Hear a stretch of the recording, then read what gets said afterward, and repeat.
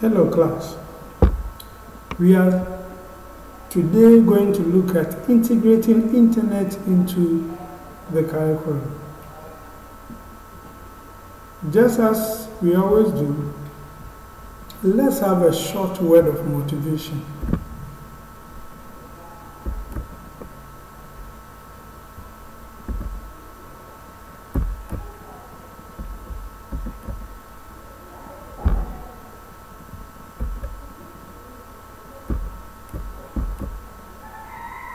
All right. Um, Said this Small minds discuss people, average minds discuss events, but great minds discuss ideas. So, this world, there are three groups of people in this world small, average, and great minds.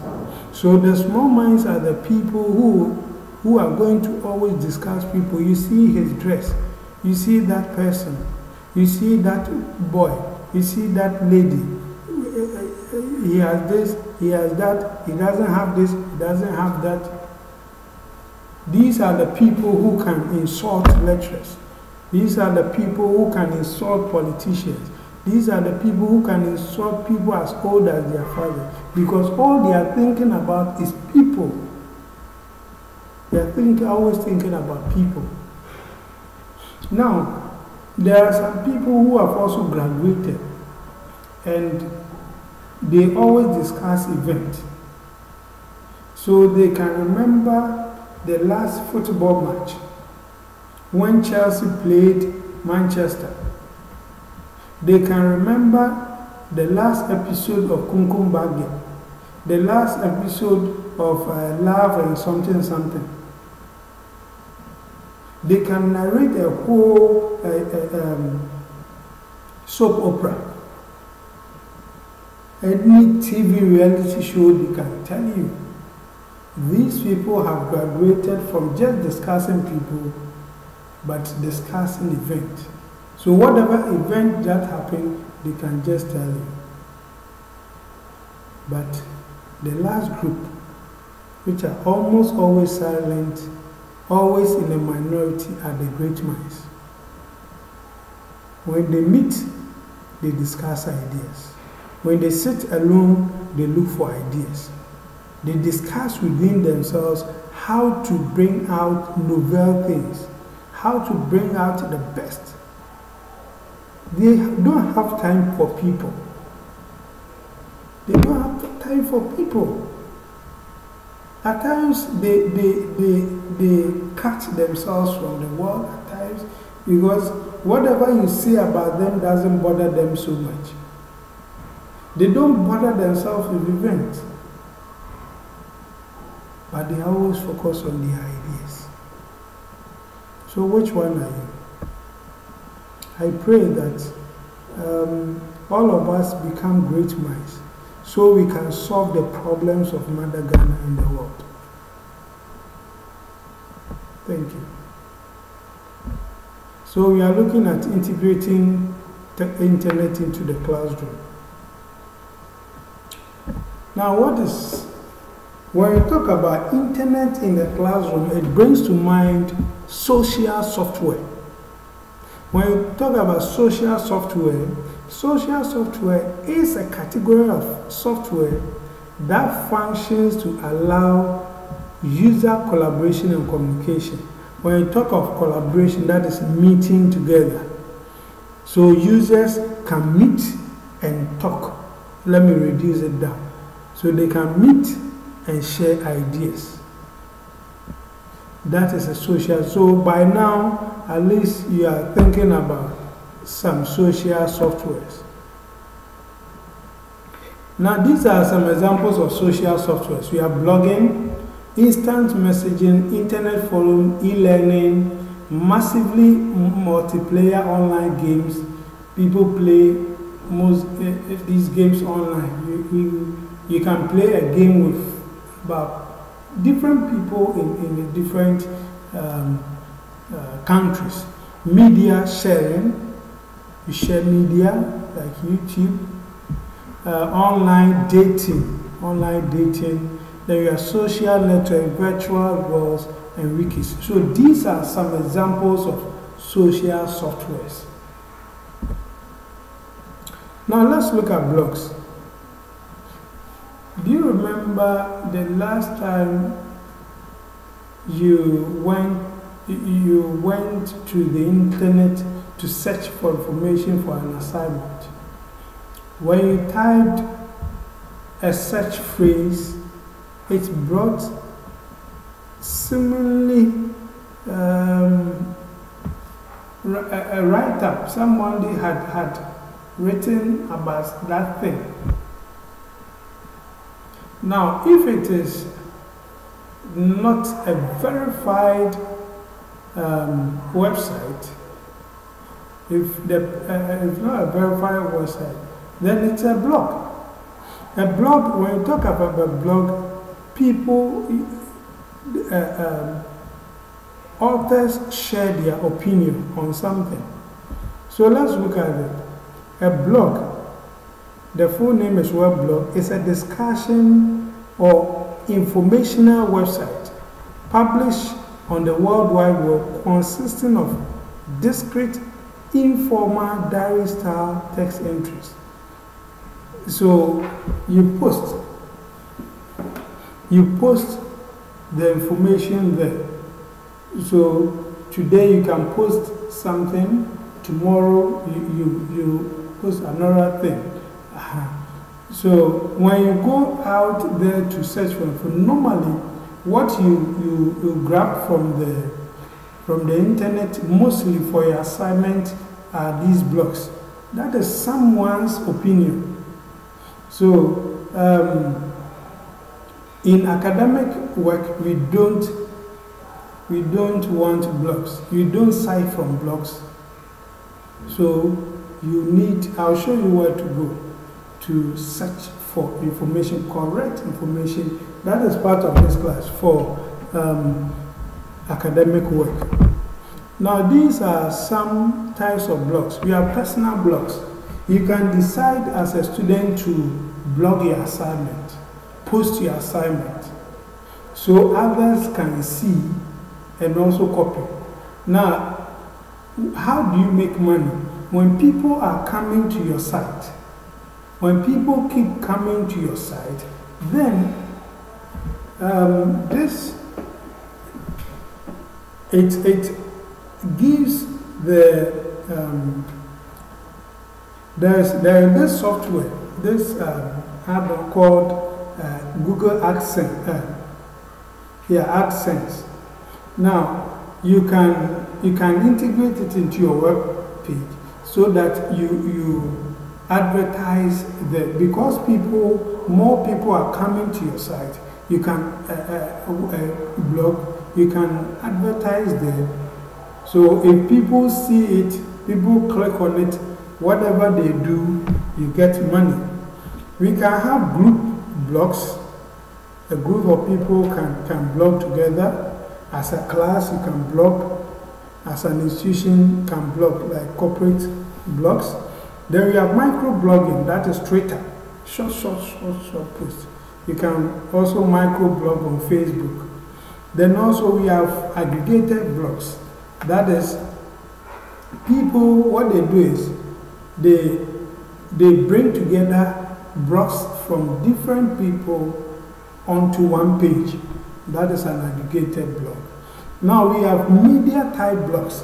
Media type blogs, we have um, some share, want to share videos. So, like YouTube is, is a form of media type blog. So, you go there, you can share your video, people can download, comment, and all that. That is also so. Uh, a media type, it can either be a video or an audio. If it's an audio, that is a podcast. Okay, you can have that one too. Then genre-based, um, genre, genre-based blogs. That is um, people blog about a certain issue COVID 19, people can blog about it, people can write about it and post it to a website. Uh, so, all that you all the information you receive at that site is, is COVID 19. That is it. Now, reverse blogs. Most, mostly, it is um, a blogger who blog, who writes, but the correct term is to blog, who blogs for people to read. But in reverse blogging, um, the readers can submit their post for that to make a blog. So there are people there who will be sifting the information so that you don't post anything back or whatever you post that is no good is, is taken out. So the users, it is the readers who blog to be aggregated. Okay, let's look at the benefit of blogs. You can read, hmm? But then it, it's, it means students become critical and analytical thinkers. As, as student, you can allow, you can let your student blog their assignments for others to comment on it. And that, that will be a good thing. Okay. And also, um, there's increased exposure to quality content. Once students start to blog, now and they are criticized, they begin to, to know how to look for good content. Now, people can learn how to live a solitary life and how to have a social interaction. Now, so when you are writing, you write alone. But when it gets into the public domain, it becomes it's for the public. So you learn how to manage some of these interactions. Okay. Now some criticisms. Um, confidentiality. At times, someone can pick someone else's document and put there. Um, and also, not everything there is, is good. So the quality concept, plagiarism, hmm? plagia, plagia. So some, just as I've said, you copy someone's content without referencing the person. It's, it's normally in blogs. Uh -huh. Now, at times it's also hard to assess and grade, like going uh, one after the other to their blogs, and also aside that um, usually every, everyone has a way of doing his or her own thing. So it becomes uh, uh, difficult assessing them. Then asking users to blog, they go there and they can be distracted.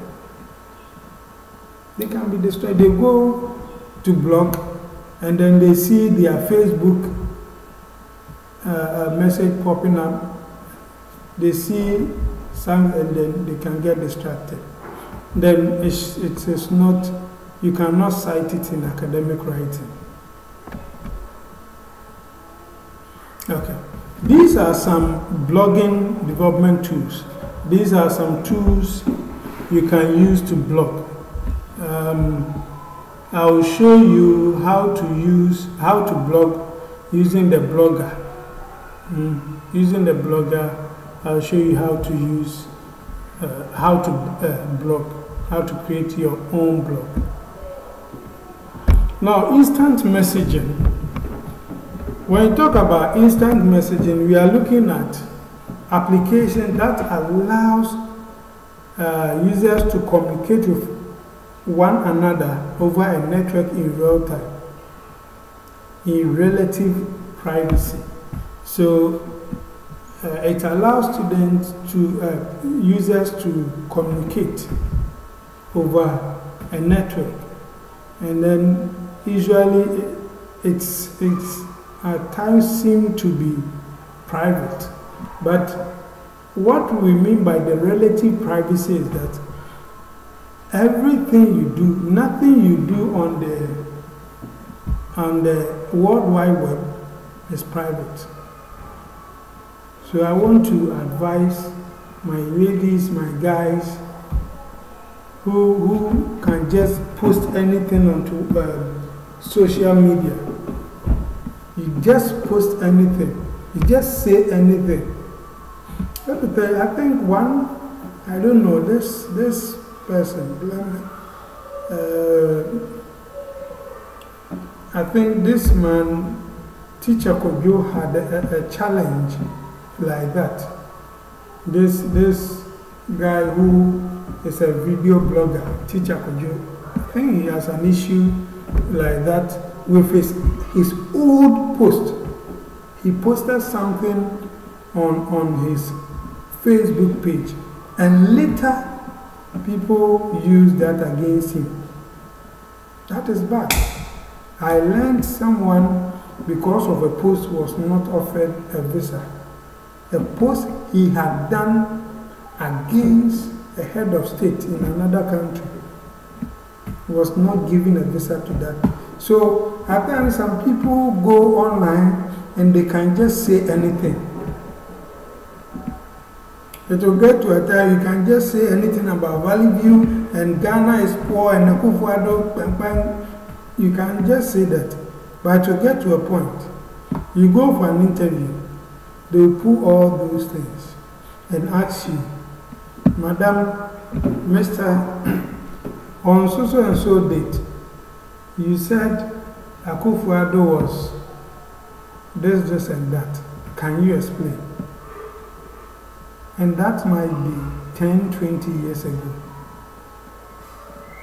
You can come for an interview in Valley University, pull that and, uh, and ask, Madam, uh, Mister, when you were a student, you remember you posted this about the school. How true was this? And why did you do that? You may even not, you didn't think through. So don't think it is everything you do online is private. These are some examples of uh, instant messaging, WhatsApp, Skype, and all that. So these are some examples. Okay. Now let's look at wikis. Wikis are web pages whose content can be edited by anyone who accesses it. So um, for wikis, the, the, main, the main idea is to have a, a moving knowledge. So, assuming we are talking about the origin of accounts in Ghana, if I should post something on Wikipedia and you come and look at it and you see that hmm, there is a flaw in, in this man's submission, you can edit it. So um, that is how a wiki is. So these are tools you can use to create wikis. Social networks. Now, they are computer mediated technologies that facilitate the creation and sharing of information ideas, careers, interests, and other forms of expression via virtual community. Via is true, true virtual communities and networks. So, um, all these connecting to people and then sharing information you can, uh, that, that forms the social network. So, um, you can, you can still stay at home and be connected. Good.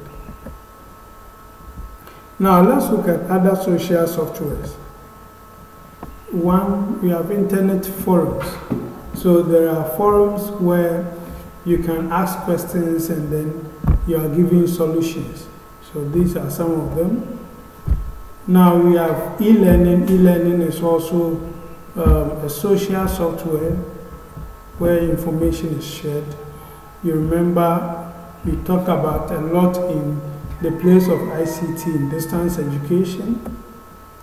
Now, we are, these are media sharing. So YouTube, most of you know about of only YouTube, but these are others you can also explore. Then we have virtual worlds. Virtual worlds. In virtual world, virtual worlds are normally like um, a second world where you enter, when you sign up to enter into this software, you create your avatar. The avatar means your, your, your um, a representation in that world that represents you. And whatever you want to do, this avatar does it on your behalf. So you can do anything, and um, some are used for studies, uh, others, there are some others, when you get higher, you can even have an affair and then be pregnant and then give birth and then grow, uh, uh, nurture your child and all that. Like all that you can do in a real life, you can do it there. So these are also social softwares. Okay. Now, one uh, effective one one effective tool of a scholar is to be able to search. So in the next session, I'm going to teach you practically how to search the net. So I'll, I'll put that video also out. It will be a separate video from this, so you watch out for that one too. How to search the net. That is effective ways. One, you can use keywords. You can use keywords. So, um, if you want uh, intelligent, multiple intelligence, so you can use multiple intelligence. That's so, and then you can use quotation marks for exact phrases. If you write multiple intelligence, um, Google is going to break all documents with multiple and all documents with intelligence. So a document with multiple uh, uh, sclerosis will come. But then, if you are looking at multiple intelligence, you, you should make it an exact thing. And also, you can use the Boolean plus or minus. You can use Google Advanced Search. You can also search through your browser history. You can also um, use different search engines if you are not getting the right response from one. And also you can use specific file extensions. So let's, let's get our hands dirty. Are you ready? Let's go.